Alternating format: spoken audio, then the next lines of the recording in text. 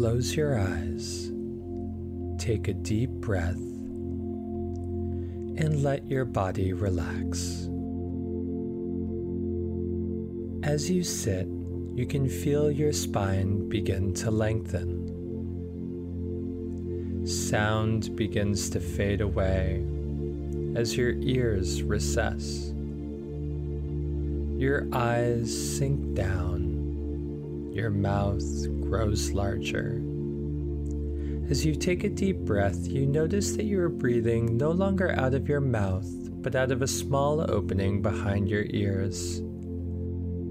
And that's when you realize you've become a male anglerfish.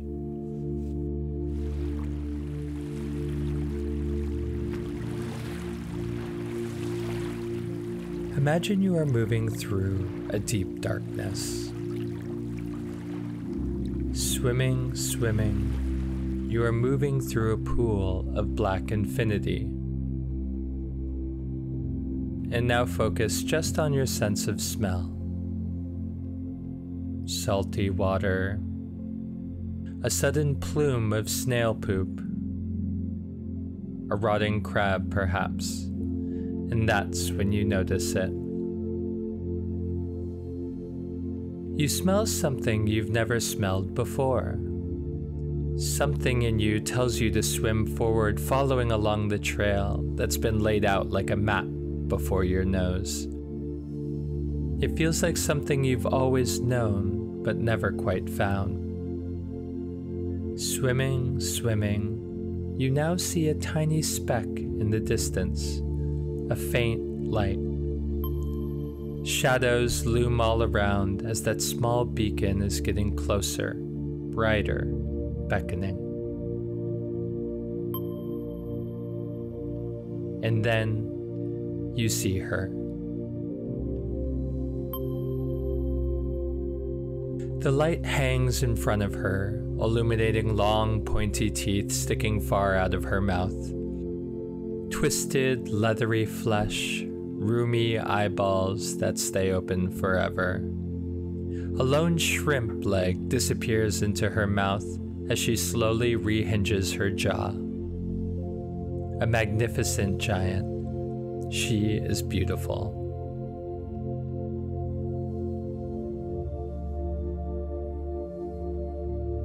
As you inhale, you swim toward her, compelled by that mysterious force.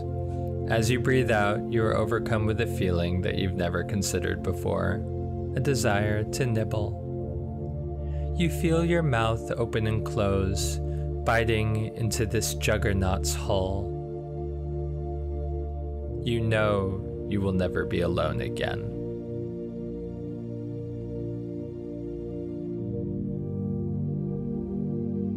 You begin to move as one, or really you move as her.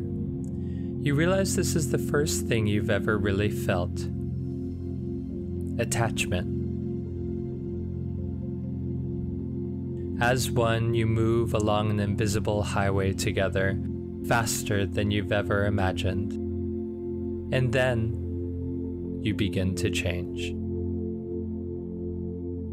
Slowly, the skin around your mouth begins to stick. You notice that your skin is fusing with hers.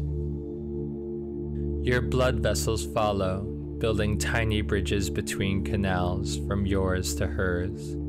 Your tiny heart keeps beating, but you find it is outmatched by an unseen pump far away. Soon, new blood moves through your veins, hers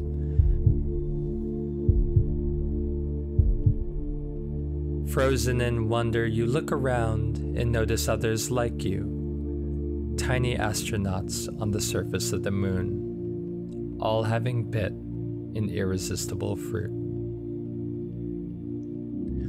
Your vision soon fades away as your eyes dissolve. You are aware that your head has completely disappeared. Organs are no longer necessary. Thoughts don't seem to be either. Desire, shame, jealousy, all melt away along with your body.